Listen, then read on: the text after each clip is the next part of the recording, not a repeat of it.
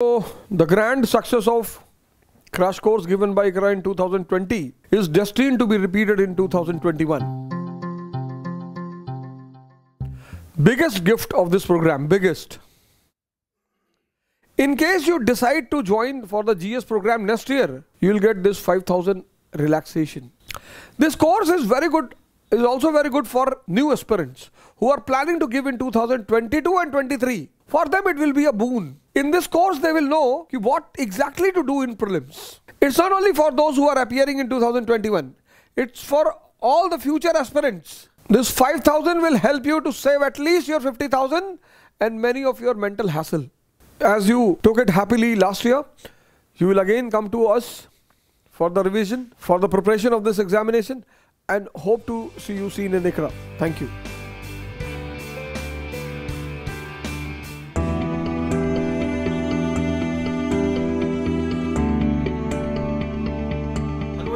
Guys कैसे हैं आप सब? This is me Rahul Agarwal और स्वागत करता हूँ आप सभी का इस यूट्यूब चैनल इकरा आई में।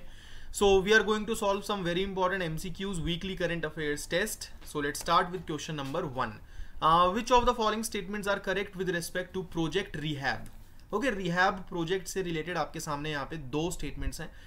It aims to thought elephant attacks in human habitation using honey bees and it is launch by ministry of environment forest and climate change तो दोस्तों रिहैब का फुल फॉर्म है reducing elephant human attacks against bees ठीक है, पहला statement यहाँ पे totally correct है, अगर हम देखें। लेकिन इसे लॉन्च किसने किया है? ये इनिशिएटिव किसका है? ये इनिशिएटिव है केवीआईसी का, यानी कि khadi and village industries commission का। तो सेकंड स्टेटमेंट यहाँ पे हो जाएगा गलत। It is launched by khadi and village industries commission and it is to thwart elephant attacks in human habitations using honey bee fences. It aims to reduce loss of lives of both humans as well as elephants. आज भी अब आपने देखा होगा गाँव में बहुत जगह हाथी जो है वो घरों में घुस जाते हैं। तो उन कॉन्फ्लिक्ट्स को कहीं ना कहीं मिनिमाइज करने की आ, योजना है सरकार की इस पर्टिकुलर प्रोजेक्ट रिहैब से। Okay so project rehab is a sub mission under KVIC national honey mission ठीक है? चलिए। क्वेश्चन नंबर टू की तरफ़ चलते हैं। आपके सामने यहाँ पे दो स्टेटमेंट्स हैं। The RBI act provides a statutory basis for the implementation of the flexible inflation targeting framework each member of the monetary policy committee has one vote and in the event of an equality of vote the governor has a second or casting vote तो दोस्तों monetary policy committee is a very important topic when it comes to economics और monetary policy committee अगर मैं आपको बताऊँ ये एक statutory committee है, जिसे reserve bank of India act 1934 के अंडर इंस्टीट्यूशनलाइज किया गया है। मॉनिटरी पॉलिसी कमिटी का मेन मकसद क्या है? प्राइस स्टेबिलिटी को मेंटेन करना और साथ ही साथ जो ग्रोथ का हमारा ऑब्जेक्टिव है, उसको ध्यान में रखना। आरबीआई गवर्नर इसके एक्स ऑफिशियल चेयरमैन होते हैं। ठीक है? सो करेक्ट आंसर होगा इस क्वेश्चन का. सी दोनों के दोनों स्टेटमेंट्स यहाँ पे पूरी तरीके से करेक्ट हैं. Okay the quorum of the meeting is four members हर एक मेंबर का एक वोट होता है. और अगर टाई हुआ इक्वालिटी हुई तो गवर्नर का दूसरा वोट यानी कि कास्टिंग वोट होगा. इज़ दैट क्लियर चलिए क्वेश्चन नंबर थ्री दो स्टेटमेंट्स फिर से हैं. India meteorological department IMD is the only agency responsible for flood forecasting in India IMD has launched the flash uh, flood guidance system with the technical help from the World Meteorological Organization that is WMO. तो दोस्तों अगर हम flood forecasting की बात करते हैं तो IMD के साथ ही साथ सेंट्रल वाटर कमीशन जो है that is C W C okay C W C का मैंडेट भी फ्लड फोरकास्टिंग ही है। तो हम ये नहीं कह सकते कि आईएमडी एकमात्र एजेंसी रिस्पॉन्सिबल है for flood forecasting first statement totally गलत होगा। Second statement is absolutely correct ठीक है? So C W C issues flood forecast for about six hours to thirty hours in advance for one seventy six station using quantitative precipitation forecast receive and flash floods are highly localise events of short duration with a very high peak and usually have less than six hours between the occurrence of the rainfall and peak flood ठीक है? और साथ ही साथ W M O की technical help से I M D ने F F G S यानी कि flash flood guidance system implement किया है। Question number four with respect to Rakhigarhi okay दो स्टेटमेंट्स हैं यहाँ पे आपके सामने. It is one of the largest Harappan sites in India and the oldest in the world it is located on the right bank of now dried up palaeo channel of Drishadvati ठीक है? तो अगर हम uh, बात करें राखी गढ़ी की तो कहीं ना कहीं it is the largest Harappan site okay in the Indian subcontinent और जो 2020-21 का बजट था, उसमें यह भी प्रपोज किया गया कि भाई राखीगढ़ी, जो कि हरियाणा के हिसार डिस्ट्रिक्ट में पड़ता है, उसको as a iconic site develop किया जाएगा। ठीक है? राखीगढ़ी के अलावा और भी चार साइट्स हैं, जैसे कि हस्तिनापुर शिव सागर ढोलावीरा और अदिचन्नलूर ठीक है? जो कि तमिलनाडु में है। इनको भी डेवलप किया जाएगा एज अ आइकॉनिक साइट ठीक है so first statement is absolutely correct here and talking about the second one second statement भी यहाँ पे पूरी तरीके से करेक्ट है it is located on the right bank of the palaeo channel of Drishadvati fine so the site uh, shows the sequential development of the indus culture in the now dried up saraswati basin uh, question number five consider the following statements regarding the cdri coalition for disaster resilient infrastructure Fine it is a global partnership that aims to promote the resilience of infrastructure systems to climate and disaster risks. It has been launched by the BRICS countries. तो अगर हम CDRI बात करते हैं आ, तो दोस्तों BRICS countries ने बिल्कुल भी ये लॉन्च नहीं किया था ओके सीडीआरआई को इंडिया ने अनाउंस किया था at the UN climate action summit 2019 जो कि न्यूयॉर्क सिटी यूएसए में हेल्ड की गई थी 23 सितंबर 2019 ठीक है the third edition of the annual conference was held in a virtual format it is a partnership of national governments UN agencies programme multilateral development banks financing financing mechanisms etcetera Question number six, India has committed to eliminating TB in the country by 2025. India's Union Minister for Health and Family Welfare has been appointed chairman of the Stop TB Partnership Board. तो आपके सामने दोस्तों, यहाँ पे दो statements हैं और अगर हम टीबी की बात करते हैं तो बिल्कुल भारत ने 2000 25 तक टीबी एलिमिनेट करने का प्लान बनाया है।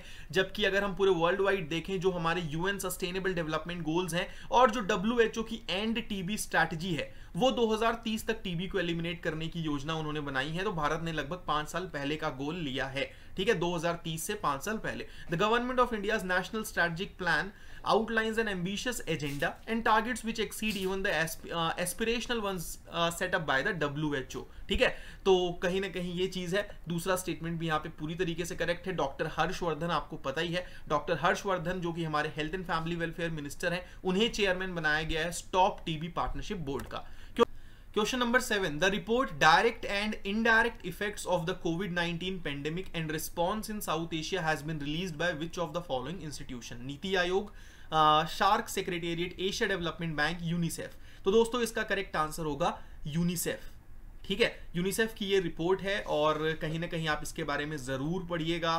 साथ ही साथ, इस पर्टिकुलर स्टडी में साउथ एशिया के छह मोस्ट पॉपुलस कंट्रीज़ पे फोकस किया गया है। अफ़गानिस्तान, बांग्लादेश, नेपाल, इंडिया, पाकिस्तान और Sri Lanka.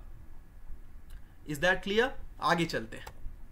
Question number eight consider the following statements regarding the national agriculture market that is E NAM okay तो ई नैम के बारे में तो आप बहुत समय से आ, सुनते आ रहे होंगे। It is a pan India electronic trading portal which network the only new APMC mandis to create a unified market of agricultural commodities small farmers agri business consortium S F A C is designated as a lead agency to roll out the E NAM okay तो recently ministry of agriculture and farmers welfare ने तीन नए feature launch किए थे national agriculture platform के। और ये जो फीचर्स हैं, कहीं ना कहीं ये एग्रीकल्चर मार्केटिंग को स्ट्रेंथन करेंगे, क्योंकि ये फार्मर्स को जो फिजिकली जाना पड़ता है मंडीज, उसे कम करेंगे। ठीक है? तो इसकी वजह से कहीं ना कहीं कोविड नाइन्टीन को भी ध्यान में रखते हुए सोशल डिस्टेंसिंग को भी ध्यान में रखते हुए ये चीज़ यहाँ पे की गई है। तो सेकंड स्टेटमेंट यहाँ पे पूरी तरीके से करेक्ट है। और अगर हम बात करते हैं फ़र्स्ट स्टेटमेंट की it is a pan india electronic trading portal which networks the only new apmc mandi तो ऐसा बिल्कुल नहीं है कि सिर्फ़ नए apmc मंडीज को ही ये कनेक्ट uh, करेगा it networks the existing apmc mandis to create a unified national market for agricultural commodities Is that clear? Moving ahead. Question number nine. Which of the following is or are anti-tank guided missiles? ठीक है यहाँ पे आपके सामने नाग मिलान टूटी और प्रहार तीन ऑप्शन हैं। इनमें से एंटी टैंक गाइडेड मिसाइल्स आपको बताना है। करेक्ट आंसर होगा इसका वन एंड टू प्रहार को अगर आप हटा दो, ठीक है? उसके अलावा अगर हम नाक की बात करते हैं it's a third generation fire forget mechanise infantry which which with the top attack capability to destroy armoured vehicle equipped with explosive reactive armour moving and stationary targets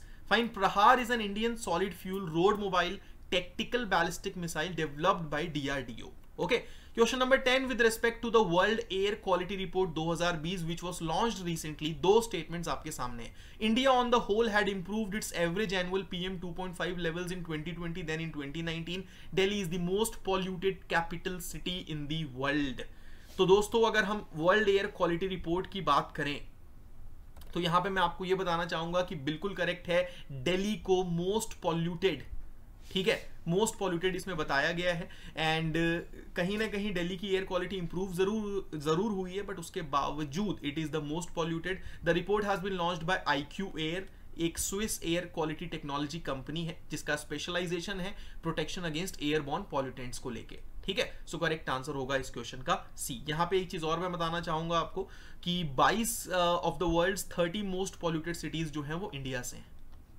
ठीक है तो इससे आप अंदाज़ा लगा सकते हो हमारे देश की हवा। Question number 11 with respect to project Samvad, आपके सामने दो स्टेटमेंट्स हैं। It is the world's largest survey that aims to provide base for designing national and state level programmes and policies for ageing population in India the project was led by NIMHANS in collaboration with the ministry of Panchayati Raj तो अगर हम project संवाद की बात करते हैं ठीक है, इसका फुल फॉर्म है support advocacy and mental health intervention for children in vulnerable circumstances and diseases okay the project is aimed at mental health outreach for children जो कि अबेंडेंड है, अनाथ हैं, या फिर कॉन्फ्लिक्ट विद लॉ हैं, या फिर ट्रैफिकिंग के सर्वाइवर्स हैं तो उनके लिए ये संवाद प्रोजेक्ट लाया गया है। And it it is led by national institute of mental health and health and neurosciences that is NIMHANS ठीक है ministry of women and child development is funding this particular project तो पहला स्टेटमेंट तो totally यहाँ पे false है, ये ageing population के लिए नहीं है, ठीक है? कुछ दिनों पहले ही स्मृति ईरानी ने जो कि हमारी यूनियन मिनिस्टर हैं, उन्होंने इस बारे में प्रेस कॉन्फ्रेंस भी की थी और इसके बारे में उन्होंने बताया भी था question number twelve with respect to the trace biome project दो स्टेटमेंट्स हैं it is one of the flagship project of the E double S O Indian national centre for ocean information services that is INCOIS Under the project, a 90-day scientific cruise mission was launched recently for mapping the genetic diversity of organisms and the effect of micronutrients and trace metals on them in the Indian Ocean. तो दोस्तों, अगर हम बात करते हैं trace biome project की तो ये लॉन्च किसने किया है? C S I R N I O I O Goa ने। And C S I R N I O has been commission to conduct genome and proteome mapping present inside cell single cell organism in the Indian ocean is that clear moving ahead question number thirteen consider the following statements regarding the S four hundred triumph missile system it is an American anti ballistic missile defence system designed to intercept and shoot down ballistic missiles India and China both have sign contract to purchase the S four hundred missile system तो दोस्तों, अगर हम S चार सौ की बात करते हैं, ठीक है? तो इंडिया और चाइना ठीक है? इंडिया और चाइना दोनों की अगर हम बात करते हैं, दोनों ने साइन किया है कॉन्ट्रैक्ट दोनों S four hundred missile system purchase करना चाहते हैं। पहला स्टेटमेंट यहाँ पे फॉल्स है। American anti ballistic missile defence system जो लिखा है दैट इज़ एब्सोल्युटली फॉल्स क्योंकि इसे डेवलप किया है रशिया ने। Is that clear so correct answer is B question number 14 regarding the electoral bond scheme दो स्टेटमेंट्स हैं the electoral bonds can be redeemed only by an eligible political party by depositing by depositing them in their designated bank account electoral bonds can be purchase through foreign currency तो दोस्तों electoral bonds foreign currency से बिल्कुल purchase नहीं किया जा सकता। Indian rupees में ही ये एक्सेप्ट किए जाते हैं और साथ ही साथ एलिजिबल पॉलिटिकल पार्टीज़ ही इन्हें रिडीम कर सकती हैं और एसबीआई के डेजिग्नेटेड अकाउंट में ही वो भी सिर्फ़ और सिर्फ़ सिलेक्टेड ब्रांचेस में ही ये किया जा सकता है। Question number 15 regarding the liquefied natural gas that is LNG दो स्टेटमेंट्स हैं। The volume of natural gas in its liquid state is less than half its volume in its gaseous state 100% percent FDI through automatic route is allowed in the establishment of LNG infrastructure in India second statement अगर हम यहाँ पे देखें, ठीक है? अगर हम यहाँ पे सेकेंड स्टेटमेंट देखते हैं, जहाँ पे लिखा हुआ है कि 100% FDI through automatic route is allowed ठीक है so to promote the usage and distribution of LNG the government has put LNG imports under OGL that is the open general licensing category and the establishment of LNG is under 100% FDI The government is also promoting usage of natural gas in gaseous liquid LNG through expansion of gas infrastructure, including city gas uh, distribution, gas grid network, etc. The volume of natural gas in its liquid state is 600 times smaller than its volume in the gaseous state जो जो यहाँ पे लिखा हुआ है कि less than half that is absolutely correct question number 16 consider the following regarding PLI that is the production linked incentive scheme announced in the union budget 21-22 domestic as well as foreign owned entities are eligible to be the beneficiaries of this PLI schemes the PLI schemes will be implemented by the NITI Aayog in collaboration with the ministry of commerce okay तो PLI schemes जो है ये implement कौन करेगा? Concern ministries and departments and it will be within the overall financial limits prescribed और साथ ही साथ domestic as well as foreign owned entities are eligible to be the beneficiaries तो पहला स्टेटमेंट करेक्ट है, लेकिन नीति आयोग इंप्लीमेंट करेगा, ये गलत होगा। Correct answer is only one that is A Question number 17. Consider the following regarding the State Election Commission. It is vested with responsibility of superintendent's direction, control of the conduct of all elections.